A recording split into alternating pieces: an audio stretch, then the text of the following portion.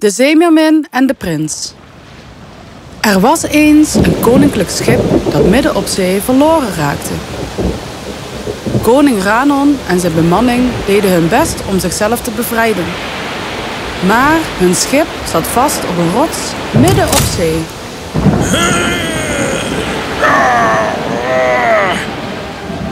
Al snel werd de wind sterker en begon het water te stijgen. De bemanning raakte in paniek en begonnen hun schietgebedje te doen.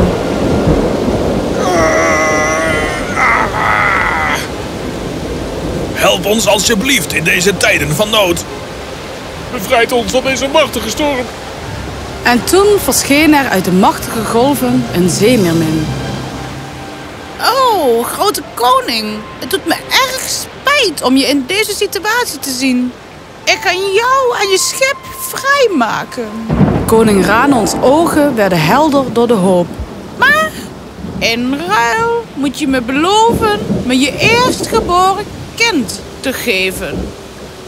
Koning Ranon had verlangd om zijn zoon vast te houden. En nu bracht de gedachte om zijn nakomeling weg te geven tranen in zijn ogen. Omdat hij de paniek op de gezichten van zijn bemanning zag, accepteerde de koning de deal. Goed. Ik ga akkoord. En zodra hij het geaccepteerd had, tilde een grote golf het schip van de rots in de open zee. Maanden later werd hun kleine baby, een jongetje, geboren. Koning Ranon was al lang zijn belofte aan de zeemermin vergeten. Wat is het toch een knap kind. Ik zal hem noemen Prins Aaron. Prins Aaron groeide op tot een sterke en knappe prins. En al snel herinnerde koning Ranon zijn belofte weer. Onze zoon is niet geoefend genoeg. We moeten hem de wijde wereld insturen. Het zou stom van ons zijn hem hier te houden in het paleis, omdat dit de eerste plek is waar de zeemermin naar hem zal komen zoeken. Ben het met je eens? Prins Aaron werd geroepen en ze vertelde hem alles. Hij was buiten zinnen omdat hij over de wereld mocht gaan reizen. Vader, ik accepteer je wijsheid en zal me meteen voorbereiden op mijn reis. Zegen me. Hij zei tot ziens tegen zijn ouders en ging weg om te beginnen aan zijn reis. De hele dag liep hij over kronkelende wegen en door kleine groene bossen en genoot van het gezelschap van eekhoorntjes en vogels, maar hij werd al snel moe. Oh, ik ben zo uitgeput. Ik moet een plek vinden om te rusten en te eten. Op het moment dat hij een plek vond om te rusten, kwam er een heel luid gerommel. De prins was doodsbang. Voor hem stond een beest met het hoofd van een leeuw, het lijf van een beer en de vleugels van een kolibrie. Wat doe jij dan hier, jongen? Ik, ik ben op de vlucht voor de zeemeermin.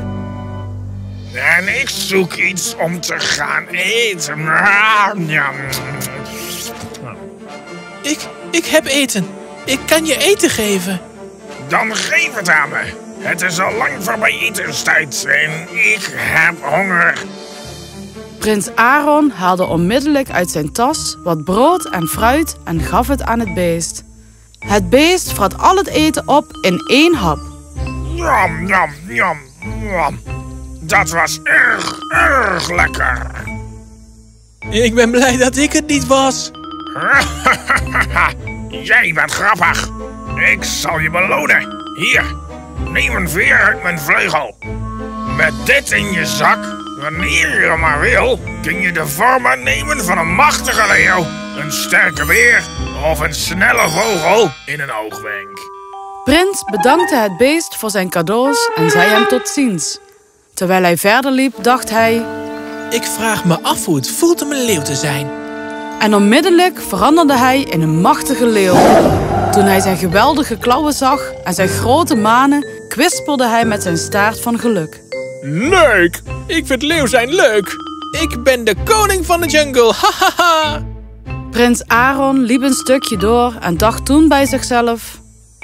Ik vraag me af hoe het is om een beer te zijn. Op het moment dat hij het zei, veranderde hij in een grote beer met een dikke huid en vacht. Super! Pas op, bijtjes. Ik kom al jullie honing stelen. Toen, na een tijdje, dacht Aaron bij zichzelf... Een vogel zal zo anders zijn dan een beer of een leeuw. Ik moet het meteen proberen. Hij vloog heel hoog, vrij als een vogel. Het geluk van de prins kende geen grenzen. Snel kwam hij bij een heel groot koninkrijk en besloot erheen te gaan. Hij vloog meteen naar het paleis en zag een aantal mensen in de hal aan het eten. Daar veranderde hij terug naar zijn normale uiterlijk en liep er naartoe om de gesprekken te kunnen horen. De koning is op zoek naar een bruidegom voor de prinses. Hij hangt portretten op van de knapste prinsen in de wereld. Maar ze vindt ze allemaal niet leuk. Hoe kan ze hem een nakomeling geven? Als ik haar was, dan zou ik de eerste prins trouwen die mijn hand om te trouwen zou vragen. Ah, wat zou je willen? De hulpen roddelden nog wat meer, maar prins Aaron was al gestopt met luisteren. Hij veranderde in een vogel om de prinses te gaan zoeken. Hij vloog naar het kasteel en zocht naar de kamer van de prinses door het raam. Toen hij het eindelijk had gevonden, vloog hij er meteen in en toen hij binnenvloog, veranderde hij terug naar een man. Wie ben jij? Wees niet bang, prinses. Ik zal je geen kwaad doen. En de prinses was niet meer bang. Prins Aaron vertelde haar alles over hemzelf. Wauw. Ja, maar echt hè? De prinses glimlachte. Ik vind je leuk. Weet je, mijn vader gaat weer eens op oorlog en zal zijn zwaard in mijn kamer laten. De man die het zwaard voor hem zal halen, zal met mij mogen gaan trouwen. Ik wil dat jij die man bent. En dat zal ik zijn. Ik ga met de koning mee op oorlog. Ik zal op je wachten. Prins Aaron ging weg en ging bij het leger van de koning. En zoals de prinses het voorspelde, drie dagen later gingen ze op oorlog. Ze hadden de stad al ver achter zich gelaten toen de koning zei dat hij zijn zwaard vergeten was. Velen brachten hun eigen zwaard naar de koning, maar hij nam ze niet aan. Ik kan niet het gevecht ingaan met een ander zwaard, alleen het mijne. De eerste man die het haalt uit de kamer van mijn dochter... zal niet alleen met haar mogen trouwen... maar ook het koninkrijk na mij mogen regeren.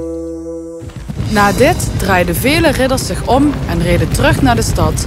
Onder hen was de gemene rode ridder, die erom bekend stond verraderlijke dingen te doen. Toen ze reden kreeg prins Aaron een beter plan. Hij liet de anderen hem passeren en hij veranderde in een leeuw en brulde luid. Toen ze zijn machtige brul hoorden, raakten de paarden van de andere ridders in paniek terwijl prins Aaron op weg ging naar het kasteel. Toen hij het kasteel bereikte, veranderde hij in een vogel en vloog meteen het raam van de prinses door. Ik ben hier voor het zwaard, uwe hoogheid. Aaron, het is je gelukt. Hier is mijn vaders zwaard. Nu, ga de oorlog winnen en kom naar me terug. Zoals uw hoogheid wenst. Maar denk eraan, als ik niet terugkom om een of andere reden, dan ben ik gevangen. Ga naar de zeekust en zing je lied, zodat je stem me naar jou kan leiden. De prinses knikte en gaf hem de helft van haar koninklijke ring. Hij kuste haar hand en vloog het raam weer uit. Nadat hij een hele tijd had gevlogen, was prins Aaron dorstig en besloot om te stoppen bij een rivier dichtbij. Maar hij wist niet dat de zeemermin dichtbij aan het drijven was. Toen hij knielde om een slok te nemen, maakte de zeemermin golven om hem te pakken. En ze verdwenen beide onder de oppervlakte. Na een tijdje kwam de rode ridder voorbij de rivier en besloot te stoppen om wat water te gaan drinken. Hij was erg blij om het zwaard op de oever te zien liggen. Wauw, volgens mij is het vandaag mijn geluksdag. Hij pakte het vlug op en reed terug naar de koning en liet hem het zien. Na de oorlog keerde de koning terug naar zijn volk, die hem verwelkomde met plezier en feestelijkheden. Maar toen de prinses zag dat prins Aaron niet achter haar vader reed, werd ze erg droevig. De moed zonk haar in de schoenen. De Rode Ridder liet grote moed zien in de oorlog en haalde zelfs mijn zwaard op voordat het begon. En zoals beloofd, zal hij mijn dochter trouwen morgen. De hele hofzaal barstte uit in gejuich. Iedereen was blij, behalve de te worden bruid. Later op die dag ging ze naar de zeekust en zong met heel haar hart naar de zee. Waar ben je, o prins, waar ben je? Kom terug naar me, o prins, ik mis je. Mijn hart hoort bij jou, o prins. Mijn hart verlangt naar jou. Diep onder het water had de zeemermin prins Aaron op een bed van zeewier gezet. Toen ze het lied van de prinses hoorde, schreeuwde ze uit... Luister hoe je geliefde liedjes voor je zingt. Ik kan niks horen. Ah, maar ik wel. Wij zeemerminnen weten alles wat er voorbij de oppervlakte gebeurt. Dat is niet mogelijk. Ik geloof je niet. Je gelooft niet dat wij meerminnen alles van boven de oppervlakte kunnen horen? Nope. En ik geloof ook niet dat er iemand daar aan het zingen is. Je probeert me alleen maar aan het praten te krijgen. Ik zal het je bewijzen, jij gek mens. Dus bracht de zeemermin hem wat dichter bij de oppervlakte. Kun je het nu horen? Nee, ik hoor niks anders dan het stromen van het water. De meermin bracht hem nog wat hoger. En hoe nu dan? Nee, ik hoor niks anders dan het breken van de golven. Dus de meermin bracht hem naar de oppervlakte. Ik weet zeker dat je haar nu kan horen. Weet je wat? Het maakt niks uit. En meteen wenste hij dat hij een vogel was en ontsnapte uit de klauwen van de meermin. Nee! Prins Aaron vloog met al zijn kracht naar zijn geliefde toe. Toen ze hem zag, sprong de prinses op van vreugde. Je liefde heeft me teruggebracht. Ik ben zo blij dat je terug bent, mijn liefste. Maar we hebben niet veel tijd. Laten we haasten naar het paleis. Toen ze het paleis bereikten, kondigde de prinses aan... Vader, deze man hier beweert dat hij geweldiger is dan de Rode Ridder. Ik denk dat hij gestoord is. Hé, hey, is dat niet een beetje bot, vind je niet? Heer, ik weet dat je veel magische kennis hebt opgedaan. Deze man beweert dat hij in een leeuw kan veranderen. Waarom laat je hem niet zien hoe het moet? Nu had de Rode Ridder nog nooit één magisch boek gelezen, maar hij geloofde dat hij beter was dan iedereen. Hij probeerde en probeerde en trok rare gezichten en huilde.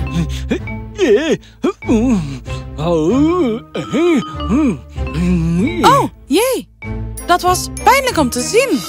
Misschien is een leeuw te moeilijk. Waarom niet een beer? En weer probeerde de rode ridder het. En weer faalde hij enorm. Misschien proberen we te grote dingen. Waarom beginnen we niet klein? En probeer dan eens een vogel of whatever. Eigenlijk, ik... ik... Kun je echt in een leeuw veranderen? Toen ze dat zei, veranderde prins Aaron zichzelf in een leeuw en brulde uit alle macht. Alle mensen in de hofzaal schudden door elkaar, maar de koning gaf geen krimp. En doe eens een beer. En hoppa, een beer stond er in plaats van de leeuw. En doe nu eens een vogel. En in een flits veranderde de beer in een kleine kolibrie. De koning zag dit allemaal met groot plezier aan, totdat hij zich realiseerde wat zijn dochter aan het doen was. Is dit de man die het zwaard heeft opgehaald? Ja, dat is hij. Hij is de man die naar mijn kamer kwam. En alleen hem zal ik trouwen. De prinses vertelde de koning alles.